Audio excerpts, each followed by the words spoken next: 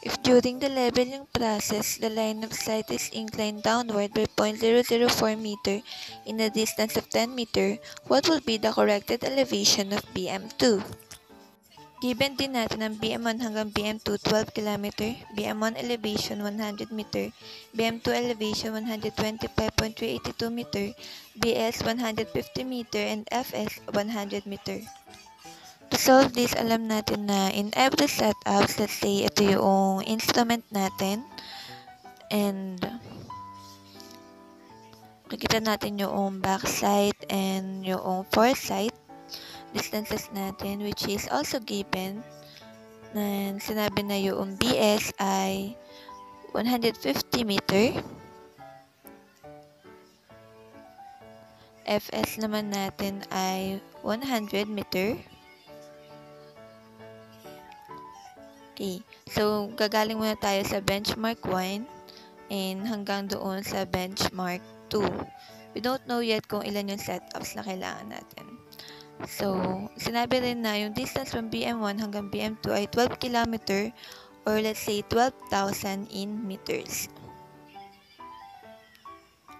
Sinabing yung error ay negative 0.004 meter for a distance of 10 meter.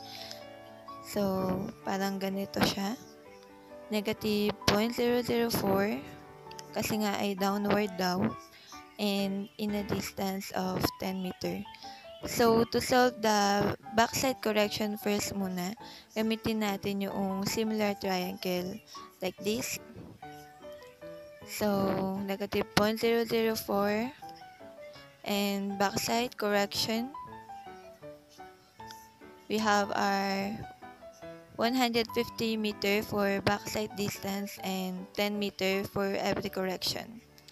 So, similar triangle, 10 over negative 0.004 is equal to 150 over correction ng backside.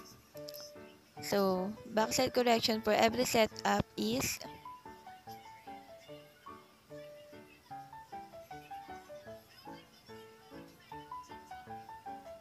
negative 0.06. Punta naman tayo ngayon sa foresight correction. Kagaya lang din nun sa backside. Similar triangle.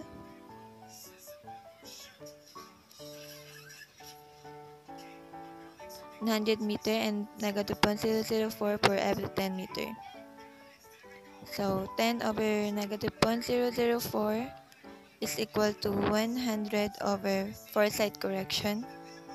So our foresight correction will be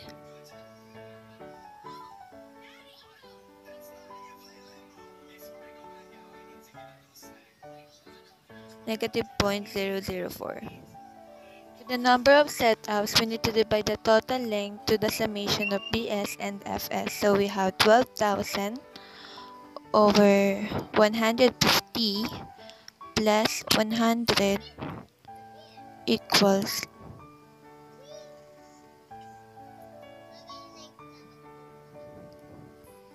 So 48, we have 48 setups.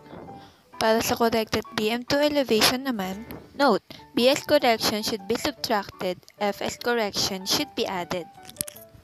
So corrected BM2 elevation is equal to our measured BM2 elevation 125.382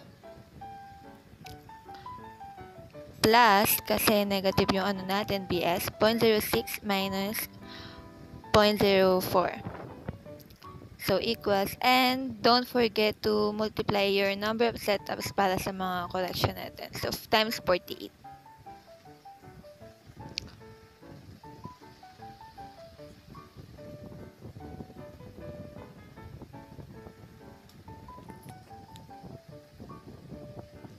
So we have 126.342 for our final elevation ng BM2.